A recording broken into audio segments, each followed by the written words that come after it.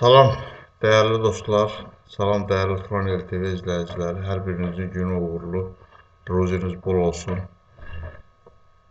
Bu gün bizi sizinlə bu görüşə gəlməyə vadar edən səbəb illərdir, 10 illərdir yazdıqlarımızın dünən ölkə başçısı tərəfindən etirafı oldu. Təbii ki, etirafın nə qədər gec, nə qədər tez olmasının heç bir əhəmiyyəti yoxdur. Təəssüf edirik ki, çox gec oldu. Amma hər halda bu bütün bunların etiraf edilməsi bir daha ölkədə vəziyyətin həddindən artıq ağır olması barədə məlumatın təsdiqlənməsi oldu. Baxın, illərdir biz yazırıq. Ölkədə rüşvət və korrupsiya ayaq tutub yeriyir. Ölkədə haqsızlıq ayaq tutub yeriyir. Ölkədə anarxiya ayaq tutub yeriyir. Monopoliya onun kimi, iqtisadiyyat onun kimi, saxta rəqəmlər, saxta raportlar. Nə oldu? Ölkə başçısı bu gün onları özü etiraf edir. Bəs biz nəyi deyirdik ki, bəylər? Biz də bunları deyirdik də. Biz də bu gün İlham Əliyevin dediklərini deyirdik, özü illərdir deyirik də. İndi nə oldu? Artıq ölkəni idarə eləyə bilmədilər. Artıq o e, sosialist inqilabının e, yəqin ki, o e, Sovet tarixini oxuyanlar var, biz həmin dönəmdə qutarmışıq. O xalq əvvəlki vəziyyətdə yaşaya bilmir prinsipi gəldi. Və siz xalqı nə qədər hakim sıxmaq fikrindəydiniz ki? Bir ara ölkə başçısı dedi ki, biz inanmırdıq ki, ölkədə neftin qiyməti bu qədər düşər. Biz e, iqtisadiyyatımızı bunun üzərində qururduq. Ha belə biz yazırdıq da.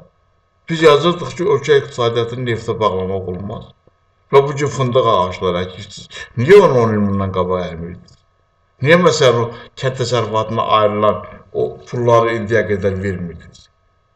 Və bu gün əgər o ə, e, iqtisadi e, artıb iqtisadiyyata qoyulan o sərmayə əvvəl qoyulsaydı, heç bu gün bizim neftə ehtiyacımız olmazdı. Amma o edilmədi. Edilməməyində sonu gətirdi, buna çıxartdı. Artıq ölkə başçısı özü gördü ki, ayın 19-u mitinqinə çıxan insanların müxalifətdən xəbəri yoxdur. Bəli, sözün həqiqi mənasında artıq xalq müxalifətdədir. Sizin hər hansı bir müxalifət gəzməyə ehtiyacınız yoxdur. Və bunu edənsə sizin təyin etdiyiniz məmurlardır. Bu idi bu məmurlar. Biz yazırdıq, siz biz yazdıqlarınızı göndərirdiniz məmurların üzərinə. Şəxsən mənim özüm. Elmar Vəliyevdən dəfələrlə mən sizə müraciətlər etmişəm. Prezident aparatına girən kimi göndərirdilər Elmar Vəliyevin üzərinə. Elmar Vəliyev də mənə cinayət işi qaldırır. Mənə qırmızı cərimə yazdılar. Hakimdən soruşuram ki, ki, axı mənim bu işdə heç bir günahım yoxdur. Mən ümumiyyətlə mən bu adamı tanımıram. Deyir mən Elmar Vəli e, şey, Xanlar Vəliyevə deyir mənim gücüm çatmır ki. Ki Xanlar Vəliyevdən soruş. Bu gün Xanlar Vəliyevin e, reformasiyaları getməyinə siz inanırsınızmı? ölkə başçısı olaraq. Yaxşı, kimi anlatmaq istəyirsiniz ki, bəylər?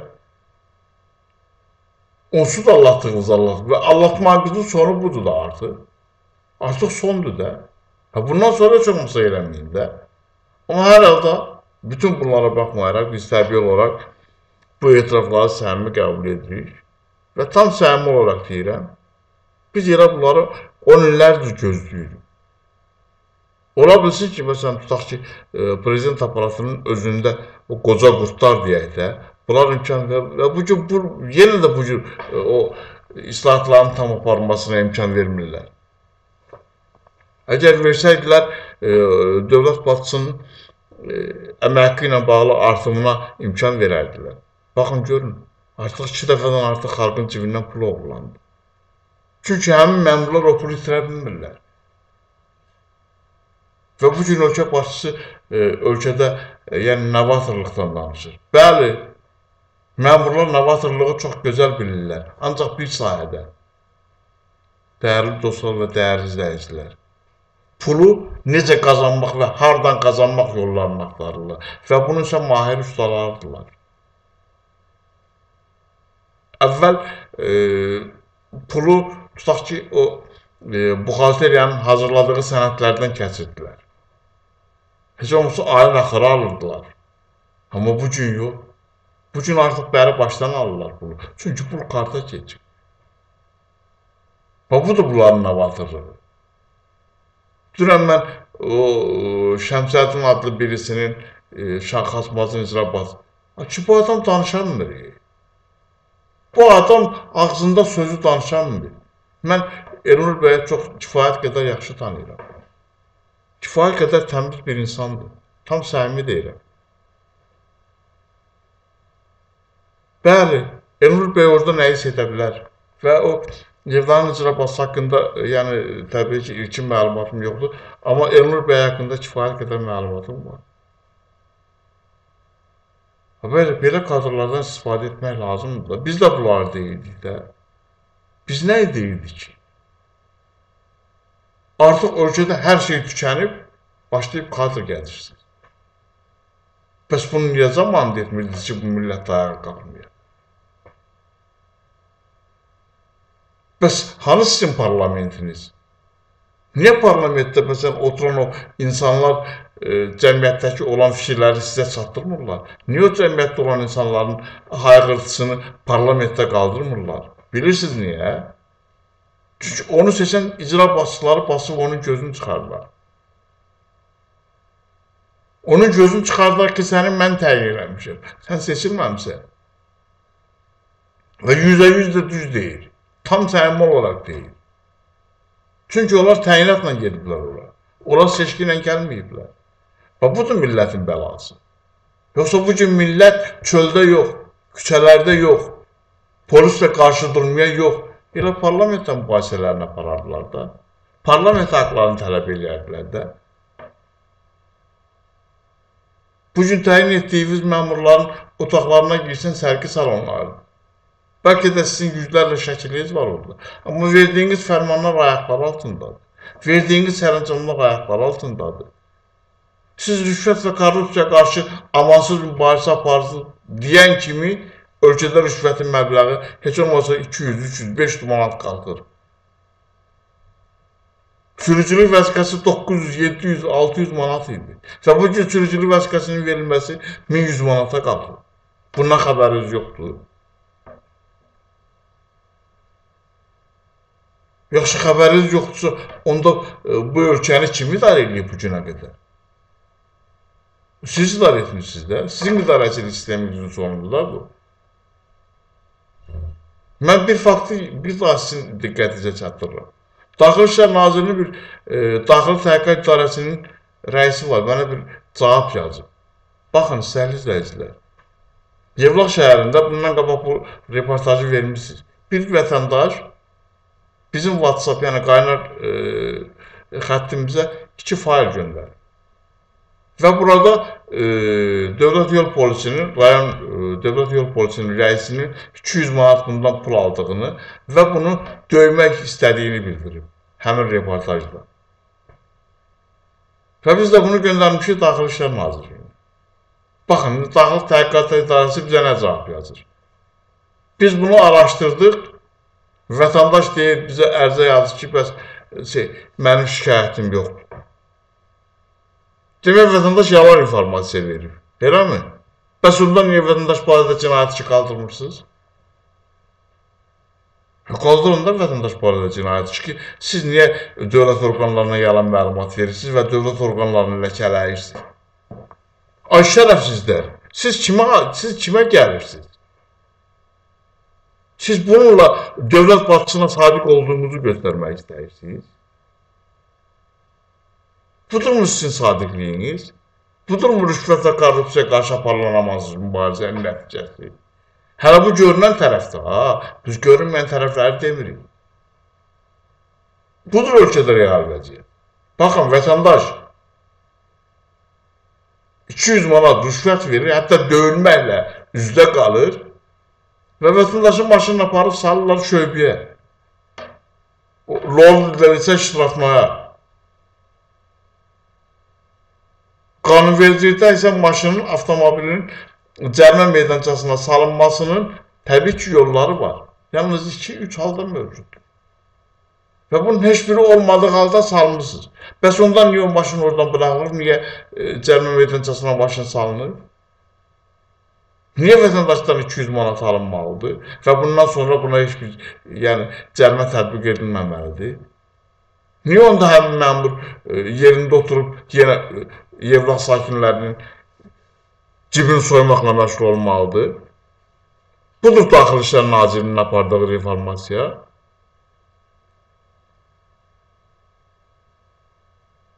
Daxili İşlər Nazirliyinin siz baxın, yeni Hacı Məmmədov var yetişir. Bir zamanlar Ramil Yusufov da deyirdi ki, mənim altımda oturan otaqda nələr baş verdiyindən mənim xəbərim yoxdur.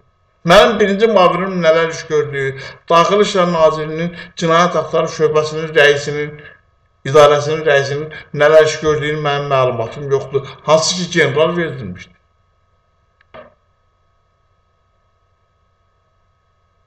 No, yenə bunlara xəbəri yoxdur. Bəs onda vətəndaş barədə niyə cinayət işi başlamırsınız? Yəni budurmu ölkədə aparılan iqtisadi islahatlar? Yeni nazir qoymuşsunuz. Bizə Daxili İşlər Naziri özü birbaşa çox qəribədir. Korrupsiya və rüşvətə qarşı amansız mübarizə aparmalı olan bir nazirlik. Budurmu nazirliyin apardığı iş? Sözcülük vəsiqəsinin qiyməti 1100 manat olur. Hansının da yanına girsən deyir, əlini yuxarı qaldırır, deyir, mənlik deyir, yuxarılıqdır qeymət. Məmurdan soruşsan, deyir, əvvəl özümüz alırdıq, indi deyir, korrupsiya qarşı mübarizə idarəsinə də veririk. Amma bugün siz bunu etiraf edirsiniz. Siz özünüz etiraf edirsiniz ki, ölkə rüşvət içərisində boğulur. Mənə saxta rəqəmlər verirlər, mənə saxta məlumatlar verirlər. Bugün mən Samıqla bağlı sizə bir daha məlumat vermək istəyirəm.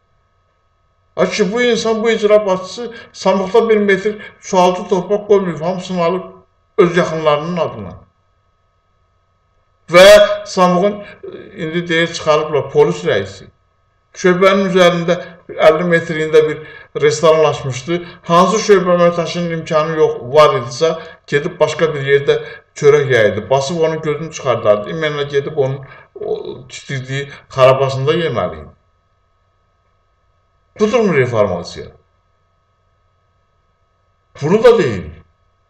Bunu da deyir ki, tədbir görün. Nədir, nədir bu Oqtay Əsadovun qudasıdır. Binəqədini çox ağ günə çıxartdı, gəldi Samığı ondan da betər günə saldı.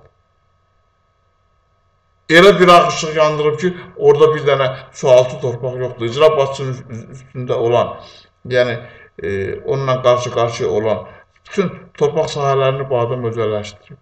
Bu adamın onlarla e, belə deyək, e, panik saldırıb orada vətəndaşların mülkiyyəti hesabına. Verməyən vətəndaşlarsa təbii olaraq ya şərlənir, ya nə bilim, cibindən tank çıxır, BTR çıxır, ya kiloyla nəşət çıxır. Yəni, budur ölkədə reformasiya. Eyni şey, tutaq ki, Göygöldədir. Hə, göy günlədir, bu da Bəylər Eyyubovun qadırıdır. İcra başçının qəbuluna düşmək, ölkə prezidentinin qəbuluna düşməkdən çətindir. Valla niyə? Nə oldu? Bəs siz ölkə başçısına sadiqsiz axı. Siz ölkə başçısının e, verdiyi tövsiyələri, verdiyi tapşırıqları yerinə yetirməlisiniz axı. Axı dövlət başçısı hər dəfə deyir ki, siz vətəndaşın xidmətində dayanmalısınız. Budurmu sizin xidmətiniz? Xidmətiniz gözünüzə girsin. Heç olmasa vətəndaşa təmin qoyun, özü öz başının çarəsini qılsın da.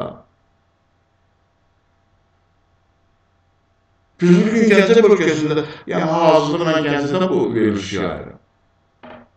Niyə məsələn tutaq ki, kənd təsərrüfatı sabiq akademiyası dəyərliyində Aqrar Universiteti. Niyə onun qapıları, bütün jurnalistlər açıqdır? Amma texnologiya universitetində bir e, korrupsiya cinayət başlanmış bir rektor var, rektor qoymusunuz. Siz qoymusunuz da ölkə başçı olaraq. Kim qoyur? Mən təyin etmişəm. 200 min manatdan yuxarı təkcə dövlət büdcəsindən pullar mənim təsəllüfəmin universitetdə. Və bu gün Təhsil Naziri hansı əsasla ölkədə təhsil islahatı apara bilər? Həmin rektorlarla. Niyə? Niyə məsələn Aqrar Universitetin e, belə deyək, rektoru bütün jurnalistləri imtahanlar ərəfəsində dəvət edir imtahanlara. Gəlin, baxın, görün. Niyə bunu texnologiya etmir? Çünki edəcək qədər sifət yoxdur. Bir zamanlar deyirdi mənim oğlum Mikail Cabbarova Range Rover alıb. Daha sonra biraz e, keçmiş Rabitə Nazirinin şəklini qoydu stolun üstünə ki, mənim sinif yoldaşımdır. Sonra onu işdən azad ediləndən kimi o şəkli oradan yığışdırdı. Və bu gün də şey, e, yeri bərk gələn kimi qasır ki, bəs mən xərçə xəstəsiyəm, mən müalicədəyəm. Biraz o belə deyə araşdırma yekunlaşıb, elə pul o verilən, istənilən məbləğ çatdırılandan sonra gəlib yenidən yıxmaqla məşğuldur. Yəni budur ölkədə reformasiya. Budur real iqtisadiyyat. Budur sizə verilən saxta rəqəmlər. İstənilən bir Gəncədə fəaliyyət göstərən biz belə deyək, təhsil müəssisəsi ilə əlaqə yaratmaq bizim üçün artıq nətər deyim, müşkil məsələyə çevrilir. Reportajlar yaymışıq, müəllimin saatını alıb müəllimi zülmə salırlar. Hər məktəbdən tutaq ki, Gəncə təhsil müəssisələrinə eləcə də ətrafda gedir. Nəinki Gəncə, bütövlükdə, yəni təhsil sistemindədir bu mahiyyət. Təhsil şöbə müdürü 30 saat, 35 saat dərs almalıdır. Niyə? Əgər bununla məqsud bunu qane eləmirsə, geçsin xarabasında otursun da bəylər. Niyə bu ölkənin bu təsirini bu vəziyyətə salırlar? Bütün bunların son günahı isə sizsiniz, ölkə başçısı olaraq. Artıq bütün bu günahların üzərində siz dayanırsınız. Çünki sizin təyin etdiyiniz məmurlardır. Və illərdir yazırıq, bu gün etiraf edirsiniz. Bəli, biz nə deyildik? Biz də bunları deyildik də. Biz də ölkə başçısının diqqətinə ölkədə mövcud olan o iqtisadi, sosial durumu çatdırırdıq da. Amma bizi susturmaq üçün Elmar Vəliyev mənə üç dəfədən artıq cinayətçi başlatdırdı. Bugün Gəncə şəhərində təkcə Elmar Vəliyevin milyonlarla yox, artıq milyarda yaxın ölçülən bir e, vəsaitin oğurlanması hesabına tikilən villaları, mülkləri var. Hardan alırdı bu pulları? Məcburi köçkünləri Hacıqətdən köçürtdü. Nədir, nədir ki, orada özünə bir istirahət mərkəzi tikəcək. Və həmin istirahət mərkəzi yarımçıq qalıb, amma təkcə bu gün ora xərclənən sərmayənin qiyməti artıq 10 milyonlar, 20 milyonlarla manat civarında ölçülür. Bəs bunu görmürdünüz? Hamısında Mehriban Əliyevanın adına çıxırdı. Bütün obyektlər deyildi Mehriban xanımın. Amma sonra da məlum oldu ki, Mehriban xanımın heç adında bir metr torpaq sahəsi yox. Hamısı bunun öz oğlunun, onu da nə bilim, özünün şəxsi mülkiyyətindədir. Və bu gün də həmin o milyardları yeyib kef eləyib. Xalqı isə zülmə salıb. Elə gün olmaz ki, o e, onlarla, yüzlərlə vətəndaş e, köhnə icra başçısının etdiyi zülmlərdən qəbula gəlməsin. Çayın qırağının bütün darmadağın evləri söküb milləti zülmə salıb bu gün millət ağlaşırlar. Birinin bir güya ki bir qəsəbə salıblar. Və sizin təyin etdiyiniz həmin o operator da gəlib onları dinləyir. Amma nə fayda? Evlər var ki, artıq çatlayıb. Çatlayıb yox, əl girər, barmaq girər ora. Pollar çökür. Vurulan tavanlar artıq vətəndaşların üzərinə uçur. Və pullar isə mənim səndə pullar yoxdur. Əl qabarına işləyən fəhlənin pullarını verə bilmirlər. Bugün 30 milyondan yuxarı verəcəkləri var. Niyazi Bayramov təzə təyin ediləndə bir ay yoxsa nə qədər müddət idi. İnanıram ki, 5 mindən, 10 mindən yuxarı vətəndaş şey qəbula yazmışdı, qəbul qəbul olunurdu. Bəs bunu dövlət başçısı bilmirdi ki, bu vətəndaşları incidən səbəb nə idi? adını da qoymuşdu ki, mən olmasam Gəncədə dünya dağılacaq. Nə oldu? Bəs niyə Aşura günlərində dünya dağılmadı? Həmin insanlar getdi, normal şəkildə belə də ibadətlərini etdilər, qayıtdılar, gəldilər evlərinə. Buydu Elmar Vəliyevin dırnaqarası xidməti. Biz də həqiqəti yazırdıq da. Mən yenə deyirəm, bu gün etiraf edirsiniz. Amma bunu siz 10 il bundan qabaq etməliydiniz, ölkə batısı olaraq. Ya bizi məhkum etməliydiniz, güllələməliydiniz, saxta məlumat verirsiniz, vəzifəli şəxsi nüfuzdan çalırsınız, ya həmin araşdırıb məmurun özünü güllələməliydiniz. Ən azından güllə ehtiyac yoxdur. Məmuru susturmalıdır ki, siz nə iş görürsünüz? Bu milyonlarla pul hardan gəlir sizə? bu qədər bu torpaq sahəsi, bu qədər bu əhalinin əlində olan bu vəsaiti oğurlamaqla ac qurt kimi dalaşmısınız bu millətin canına. Yaxşı, bu hara qədər gedir? İndi etiraf edirsiniz. Biz də bunu deyirdik də, biz nə deyirdik? Biz Amerika, yeni bir Amerika kəşf etmirdik ki, hələ biz gözlə görkəni deyirdik də. Gör nə qədər gözlə görünməyən işlər var ölkədə. Nə qədər gözlə görünməyən talanlar var ölkədə. Bu, bugün siz deyirsiniz ki, ölkədə korrupsiya qarşı mübarizə aparılmalıdır. Niyə bu 10 il bundan qabağa aparılmır? Biz dedik, bizi güllələdiniz, sonra korrupsiya qarşı mübarizə idarəsi yaratdınız. Əgər ölkədə rüşvət və korrupsiya yox idisə, o idarənin yaranması nə əhəmiyyəti var idi? O idarə yaranandan sonra çox qəribə, rüşvətin miqdarı biraz artdı. Məmurdan soruşanda deyir ki, qardaş, əvvəl özüm yeyirdim, indi həmin idarənin məndə payı var, mən o idarənin payını verməliyəm. Budurmu Zakir Qaralov cənablarının apardığı rüşvət və korrupsiya qarşı amansız mübarizənin nəticəsi? Yəni, siz bu kadrlarla mı e, reformasiya gedirsiniz?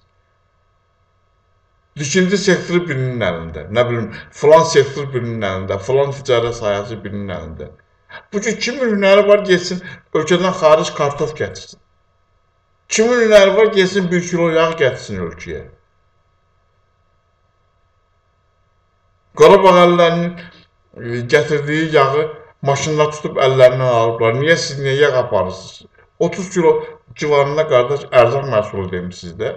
Bu da gedib 3 kilo, 5 kilo evini, ailəsini dolandırmaq üçün e, mal gətirir də sonda artıq böyük müsibətdən sonra bir e, hələ bir az da olsa bir aksiya keçidəndən sonra onların malını buraxdılar. Budurmu reformasiya? Elə bil ki, o e, nətər deyəm, az qurtları dənə-dənə seçib gətirib vəzifələrə təyin edirsiniz. Və bunlar da dalaşıblar millətin canına. Artıq can qalmayıb, qan da qalmayıb. Artıq keçiblər sümüyə və iliyə. İlik də yoxdur da artıq. Və indi siz sonda artıq başa düşürsünüz ki, ay, e, görün biz nələr etmişik, artıq cəmaat bizim üzərimizə gəlir. Və bunun üçün xalqına sökənə bir hakimiyyət formalaşdırmaq lazım idi. Heç olmasa parlament formalaşdırmaq lazım idi ki, o xalqın dərdini orada qaldıra bilsin. O xalqın ən azından sosial problemlərini qaldıra bilsin. Amma bugün hansı icra başçısının təyin etdiyimiz o deputatlar hansı icra başçısı haqqında hər hansı bir e, negativ hal deyə bilər. Basıb onun gözünü çıxardarlar. Elə Gəncədə seçilən Musa Quliyev. Musa Urut deyirsiniz. Əslində Musa Qurut. Musa Qurut hansı sifətlə gəlib burada bir sosial problemin həllinə sizin diqqətinizə çatdıracaq? Parlamentdə bu məsələni qaldıracaq. Hansı sifətlə gələcək onu? Özdə e, Sosial Siyasət Komissiyasının sədr müavini. Siz bunları məyər bilmirsiniz? Siz bilmirsiniz ki, Musa Qurut nəyin hesabına seçilir? O biri deputatlar. Yəni bununla reformasiya aparmaq mümkündürmü? Hansı bir millət vəkilinin nəinki elə mən Gəncədən götürürəm. 4 millət vəkili var. Hansı biri Gəncədə bir sosial problem qaldırıb orada? Və bu gün deyirsiniz ki, bölgədə olan e, vəziyyət acınacaqlıdır. Bəli, acınacaqlıdır. Sözün həqiqi mənasında acınacaqlıdır. Artıq xalqın çıxılmaz vəziyyətə saldığını siz də bildiniz. Və bu gün deyirsiniz ki, mediada mən örgənirəm. Bəli, bu gün biz media olaraq yenə həqiqətin yanındayıq. Siz həqiqətin yanında dayanacaqsınız, dayanacaqsınızsa, biz yenə sizin yanınızda olacağıq. Sizə məlumatları çatdıracağıq. Tək ki, ölkədə real vəziyyətə qiymət verib onu qiymətləndirməyi bacaran məmurlarınız olsun. Biz qapılar arxasında qalmayaq bəylər. Biz məmurdan tənqidi yazı yazanda ailəmizlə, uşağımızla, övladımızla hədələnməyək. Biz bunu istəyirik. Mən hər zaman demişəm, bu gün də deyirəm. Mən inqilabın başdan e, olmasının tərəfdarıyam. Yəni beyinlərdə olmasının tərəfdarıyam. Mənim üçün hakimiyyətdə kimin olması fərqi yoxdur. İlham Əliyev və yaxud qeyri-İlham Əliyev. Buyurun. Reformasiyalara gedin, biz sizin yanınızdayıq. Amma heç bir nəticə yox baxın. Siz bəyanat verirsiniz, siz tapşırıq verirsiniz, tövsiyə verirsiniz. Buradan qiymət artım müşahidə olunur.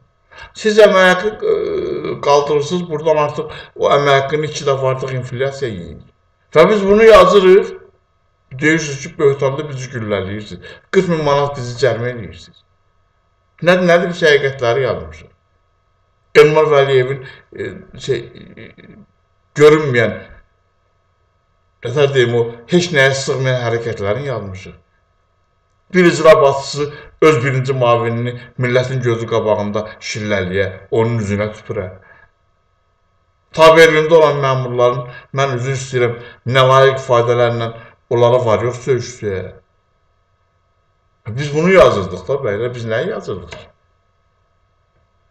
Bunda həzərləri bizim üzümüzə qoyurdular. Və bu gün nə xoş ki, artıq bu hallar geridə qalıb. Mən ədalət naminə qeyd etməliyəm. Bu gün Gəncədə tutaq ki, bəlkə də 50 il bundan qabaq asfalt görməyən küçələr asfaltlanır. Amma Elmar Vəliyevin dönəmində bir dənə şəhərin mərkəzi idi. Ayda bir dəfə sökürdülər, asfaltlayırdılar, sökürdülər, asfaltlayırdılar. Və bu da millətlərlə pulun getməsi idi. Əslində asfalt da deyildi. Oradan çıxarılan o belə deyək, adxodu aparıb yerindən qaraldıb gətirib səpirdilər şey, asfalt əvəzinə küçələrə. Onun da dayanaqlığı aydın məsələ idi də. Bununla ölkə idarə etmək olmaz ey bəylər. Bununla xalqı sakitləşdirmək olmaz. Xalqı sakitləşdirmək üçün xalqın qeydinə qalan məmurlar yetişdirmək lazımdır.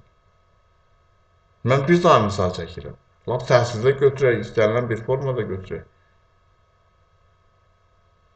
Niyə İbrahim müəllim Aqrar Universitetdə bu vəziyyəti yaradıb, Aqrar Universiteti dünya universitetləri səviyyəsinə qaldırıb, amma texnologiya bu qapılarını bağlayıb, niyə?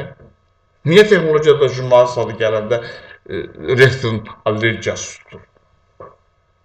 Mən vətəndaş kimi geyib keçirəm uşağın valideyni kimi. Amma sonra qayıdıb özümü jurnalist kimi təqdim edirəm, deyir, müəllim, biz sizi buraxanları. Deyirəm, axı, bayaq məni buraxdınız.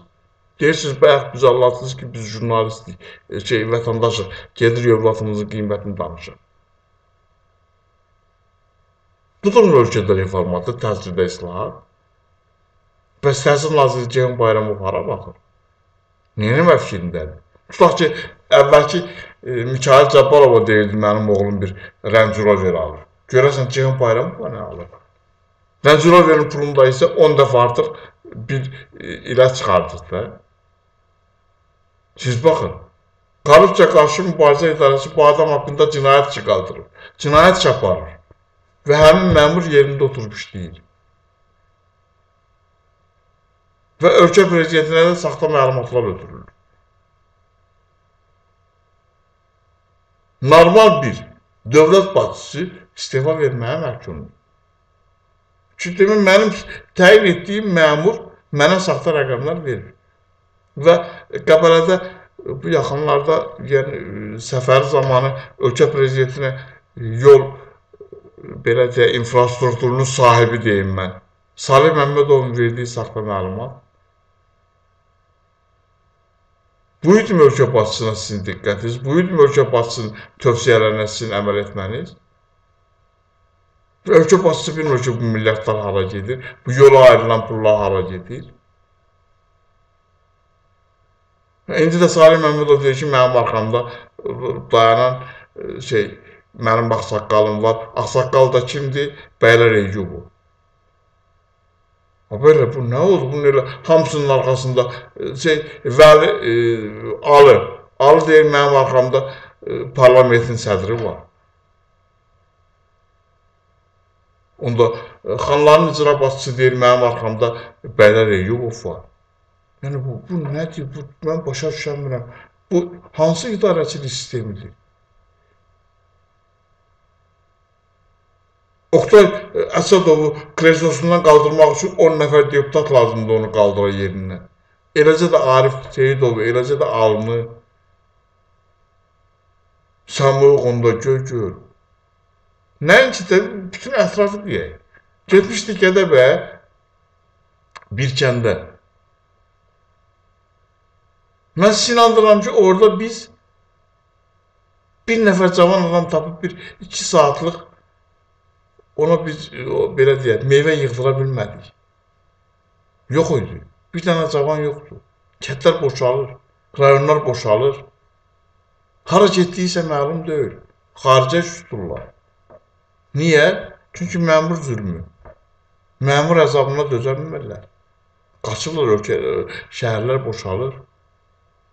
Və bu gün ölkə başçısı deyir ki, e, vətəndaşları kəndə qaytarmaq lazımdır.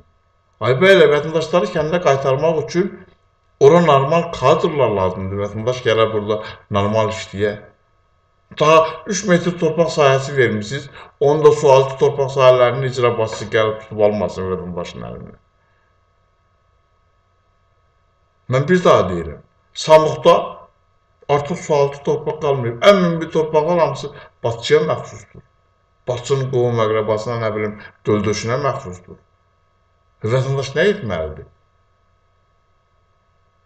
Vətəndaş kanalizasiya suyu ilə kanalizasiya suyu ilə gögərti becərir, onu da gətirir əhaliyə satır. Təmizlənməmiş kanalizasiya suyu ilə. Gəncə şəhərinin kanalizasiya suyu ilə. Sabıqda suvalanan torpaqların 90% demək olar ki, Gəncənin kanalizasiya suları ilə sulanır. Biz bununla bağlı sorğu yazmışıq. Yəni gemi oradan bizə müraciət müraciətimizdə cavab olaraq bildirilib ki, əşi bu bunun tərkibində heç nə yoxdur, narahat olmayın, yeyə bilərsiniz. Bu təfəkkürlə bunlar ölkəmi idarə edəcəklər, ölkədə reformasiyalar mı gedəcəklər? Siz özünüz də deyirsiniz, bəli, bu gün prezident aparatında bütün bu reformasiyalara qarşı çıxan məmurlar qrupu var. Və onun qrupunun başında biri elə indi bu gün elmin başına gətirdiyiniz Boz kardinal idi. İndi artıq oturduğu kreslonun da belə deyək, bozarması müşahidə olunur. Bu idi yalan məlumatlar verən. Bu idi silah başçılarını qürriyyə edən. Ölkədə saxta rəqəmlər bolluğu yaradıb, sizə yalançı məlumatlar verib, xalqı sizlə üz-üzə qoyan. Və son olaraq bir daha deyirəm.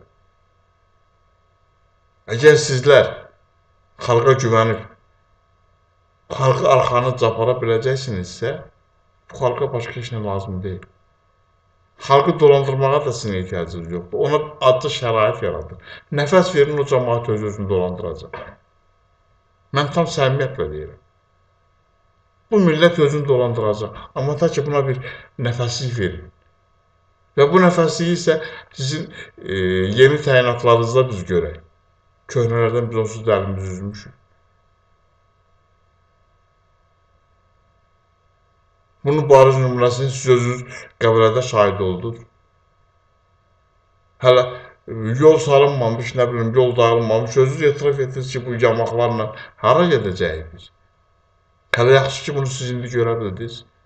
Amma zamanında bunları biz yazırdıq, görmürdük.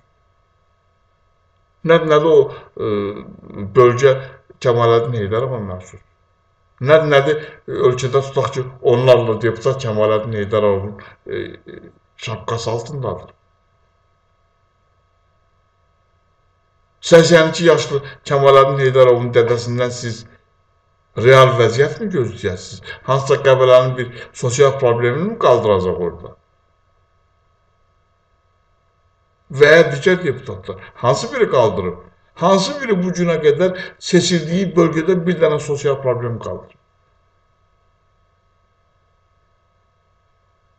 Qaldırmayacaq. Ona görə qaldırmayacaq ki, icra başçıları onların gözlərini pasız çıxardarlar. Çünki bunlar təyinatla gedib, bunlar xalqın seçimi ilə getməyib. Bu budur millətin bəlası.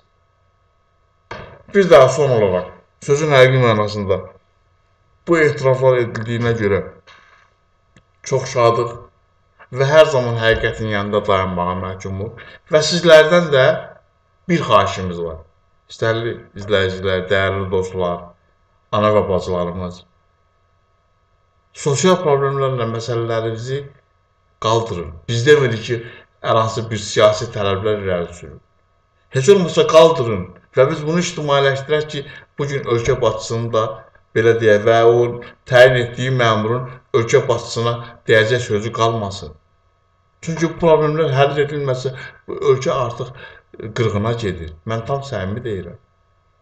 Ölkədə artıq vəziyyət o həddə çatıb ki, xalqla artıq iqtidar arasında bir uçurum da demək mümkün deyil. Elə bir yarğandır ki, bunu ümumiyyətlə doldurmaq mümkün deyil. Yalançı yapçılarla, yəni yalançı rəqəmlərlə ölkəni idarə etmək artıq mümkün deyil. Vətəndaşları zorla yapa yazdırıb hərəsindən 2 manat tutmaqla ölkə idarə etmək olmaz. Bunlar artıq saxta rəqəmlər bolluğudur.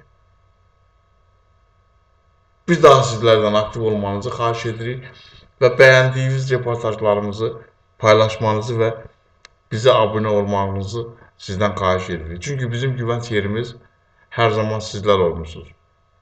Necə ki, biz rəiyyətin içərisindən çıxaraq sizlərlə birgəyik. Gələn reportajlarımızda görüşənə qədər.